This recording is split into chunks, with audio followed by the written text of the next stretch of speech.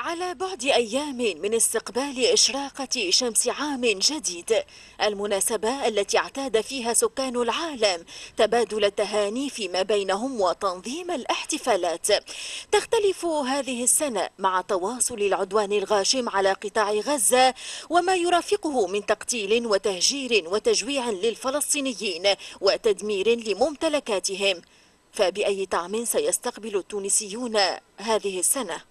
بطعم المرارة يحتفل برأس العام السنة التونسي بالأسف بالحزن. العبد يحس راهو. هذوك ما همش بشر بشر فهمتني من دمنا ولحمنا القلب يدمع والعين تدمع.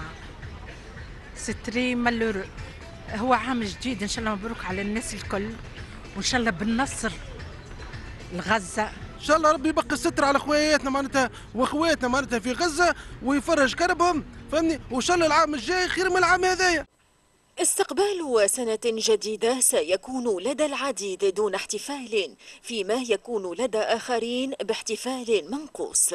فماش احتفال برأس السنة السنة لأن الشعب التونسي متآزر يعني مع الشعب الفلسطيني الشقيق. حتى لو كان يحتفلوا بالسنة الميلادية الجديدة القلب مريض. ما تحلاش الاحتفال وقت الاخوان الفلسطينيين قاعدين يموتوا كل يوم. على نتفرج بالمجازر خشبة صغار كانت تموت هذوك يموتوا.